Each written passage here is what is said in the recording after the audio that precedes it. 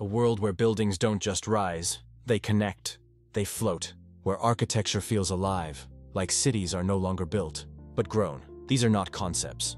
These are not future renderings. These are three real architectural masterpieces in China that make it feel like humanity has already stepped into 2050 structures. So bold they don't just change skylines, they change how we imagine the future itself. Let's rise into tomorrow one. Raffles City, Chongqing. At the meeting point of the Yangtze and Jialing rivers, a vision appears through the mist. 8. Colossal towers rise from the riverbanks, and then something impossible happens. They connect suspended nearly 300 meters above the water. A 250 meter long sky bridge floats between the towers, like a city hovering in the clouds. This is the Crystal Sky Bridge, the highest sky bridge ever built. Inside it, gardens, observation decks, infinity pools, public spaces where people literally walk above the river, and the sky designed by Moshe.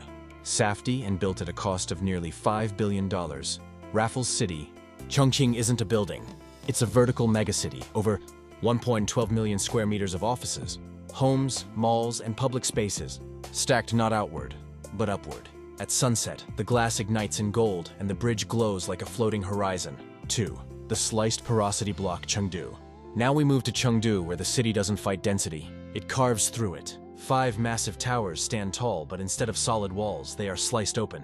Massive voids cut through the buildings, forming sun-filled plazas, open-air corridors, and elevated gardens suspended between steel and sky. Light pours through these gaps like waterfalls. Wind moves freely. Heat escapes naturally. Designed by Steven Holl Architects. This 750,000 square meter complex redefines what a city block can be. This is porous architecture, a city that breathes. Water features cool the air. Public spaces flow vertically. Costing over $1.5 billion, this project isn't just futuristic, it's humane. 3. Raffles City, Hangzhou. Now, the finale. On the banks of the Qiantang River, two towers rise and begin to twist. Not randomly. Not aggressively, they spiral gracefully, like twin strands of DNA shaping the future. Raffles. City Hangzhou's towers curve and rotate as they climb, embracing a flowing podium below that ripples like water frozen in motion. By day, the glass mirrors the river. By night, light slides across the curves like liquid, energy completed at a cost of over $2 billion. This 400,000 square meter complex blends luxury malls, offices, hotels, and rooftop terraces into one seamless form. There are no sharp edges here, no harsh lines, just movement, flow, balance, steel and glass behaving like nature.